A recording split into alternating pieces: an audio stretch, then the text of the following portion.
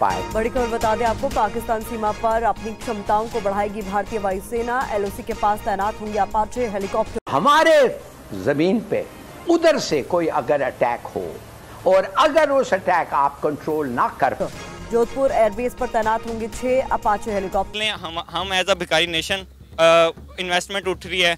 मुल्क आगे नहीं जा रहा। लॉ एंड जस्टिस को अच्छा फिर इसमें हमारी पॉलिसी क्या होनी चाहिए? हम अपने कार्ड्स कैसे प्ले करें? जब दिल करेगा भारत एलओसी क्रॉस कर जाएगा। भारतीय फौज की एलओसी पर जंगबंदी माहिरे की खिलाफ वर्जियाँ जारी हैं। यही सोच के तो हम सत्तर साल में यहाँ तक पहुँच गए हैं और वो सत्तर साल में कहाँ से कहाँ पहुँच हमारा जो इंटरनेशनल बॉर्डर है ये उस तरीके से तस्लीम शुदा नहीं है जैसे बाकी इंटरनेशनल बॉर्डर्स होते हैं। ये अभी भी घोड़े पे और ऊँट पे बैठ के समझते हैं जंग। मतलब हम जज्बा रखते हैं एक एक ना सिर्फ़ ये एक, एक केपीके में बलूचिस्तान के अंदर भी हालात इसी तरह के। ड्यूरन लाइन सारी की सारी कोई अफगान मकतबा फ़िक्र का आदमी अशरफ गनी से लेके पता नहीं ये आजकल के हुक्मरानों तक तालिबान से लेके हर एक जो है ड्यूरन लाइन को वो एक्सेप्ट नहीं करते। जज्बा ईमानी रखते हैं।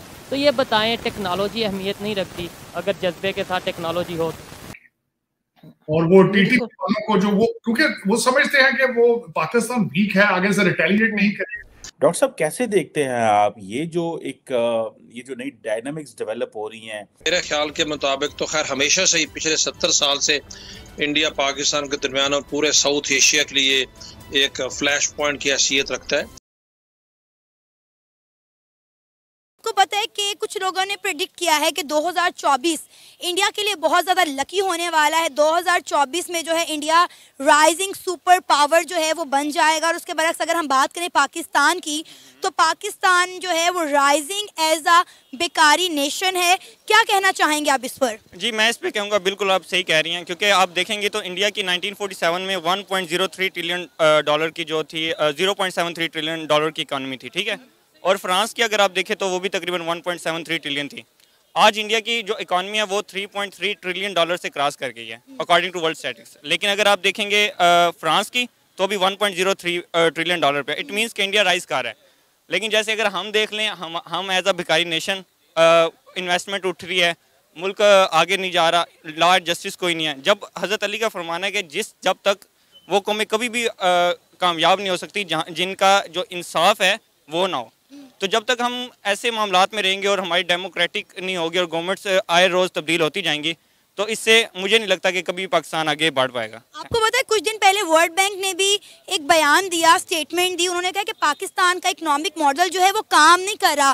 पाकिस्तान में गुर्बत की शरह दिन ब दिन बढ़ती चली जा रही है। लेकिन अफसोस की बात है, हमारा मुल्क पाकिस्तान जो है, बेशुमार मदनियात से, बेशुमार वसाइल से माला माल है। लेकिन उसके बावजूद भी हम हमेशा दूसरे मुल्कों के आगे हाथ फैलाते, कटोरा लेकर उनसे भीख मांगते हुए नज़र आ रहे हैं। अब आप यकीन करें, शर्मिंदगी होती है, क्योंकि इंटरनेशनल लेवल पर हमारे सियासतदानों ने हमारा इतना गंदा इमेज बना दिया है कि ये लोग तो हर मुल्क में सिर्फ़ मांगने के लिए जाते हैं। तो हमें ऐसा बेकारी नेशन डिक्लेयर कर दिया गया है। डॉक्टर साहब कैसे देखते हैं आप ये जो एक ये जो नई डायनामिक्स डेवलप हो रही हैं जिसमें वेस्ट ये सोच रहा है कि इंडिया को हम बहुत ज़्यादा लिवरेज दे रहे हैं बहुत कुछ दे रहे हैं? देखिए अगर आप दोनों मुल्कों की पॉजिटिव रिलेशन से जो फ़ायदे हैं दोनों को बहुत ज़्यादा है। मतलब अमेरिका का उतना पॉपुलेशन नहीं है जितना टेक एक्सपर्ट्स है इंडिया में। तो इंडिया का ब्रेन ड्रेन इंडिया का इतना बड़ा दिमाग है कि आप इंडिया अगर एक छोटा सा हिस्सा भी अमेरिका को दे दें डॉक्टर्स इंजीनियर्स एमबीएस वगैरह तो अमेरिका का तो बहुत फ़ायदा होगा ही। नासा में सारे इंडियन बड़े पड़े हुए हैं, आप देख लें जहाँ भी आईटी सेक्टर्स में। किसी भी मेजर यूनिवर्सिटी के आप साइंस डिपार्टमेंट में जाएँ और देखें प्रोफेसर कौन कौन से they are all from Indian origin ये और बात है कि वो यहाँ आकर अपना ग्रेजुएट स्टडीज़ यहाँ पे करते हैं in top universities but they are a major force मतलब कंपेयर टू दूसरे इमिग्रेंट्स जो दूसरे जगहों से आते हैं और यू नो इट टेक्स तकरीबन 12 से 14 साल लगता है एक नए इमिग्रेंट को to become productive on an average कि वो मुल्क के लिए पॉजिटिव कॉन्ट्रीब्यूशंस करें। लेकिन जो इंडियंस बंदे आते हैं खासतौर से टेक के बंदे वो पैकिंग भी नहीं करते दे आर प्रोडक्टिव मतलब वो एक दिन आए दूसरे दिन से वो जॉब पे लग जाते हैं स्पेशली जो एच वन वगैरह पे आ रहे हैं। So so the U S has lot of benefit India को भी बहुत बेनिफिट है। सबसे ज़्यादा रेमिटेंसेस अमेरिका से जाते हैं इंडिया uh, के लिए America is a source of employment India का सबसे बड़ा ट्रेडिंग पार्टनर है।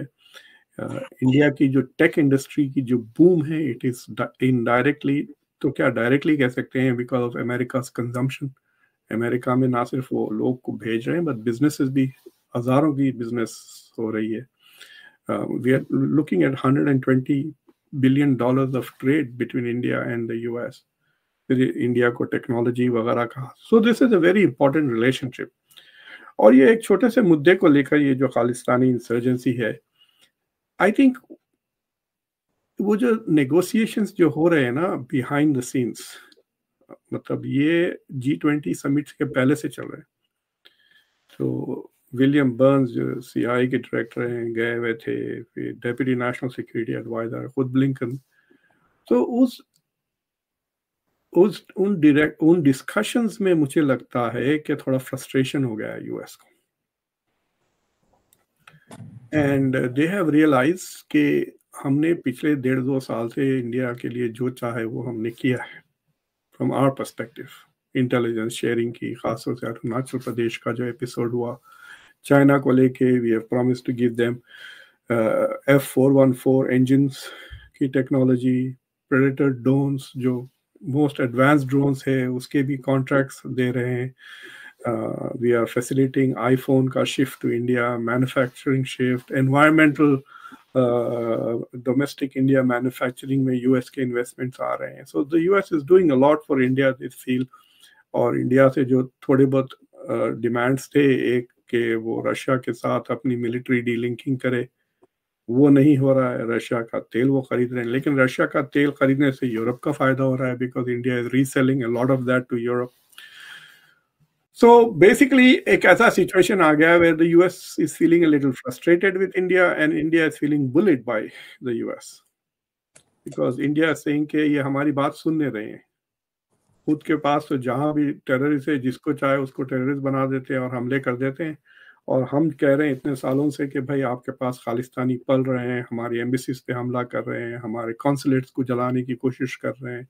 पिछले महीने दो हिंदू टेम्पल्स पे हमले हो गए खालिस्तानियों के, यहाँ पर यूएस में। ये सारा एपिसोड होने के बावजूद so the India is also getting frustrated with the US के they are not paying attention to India national security interest तो एकदम सडनली एक ऐसा सिचुएशन आया but we don't know fully to what extent के ताल्लुकात ख़राब हुए हैं। हमारे पास सिर्फ़ दो इंडिकेशन है।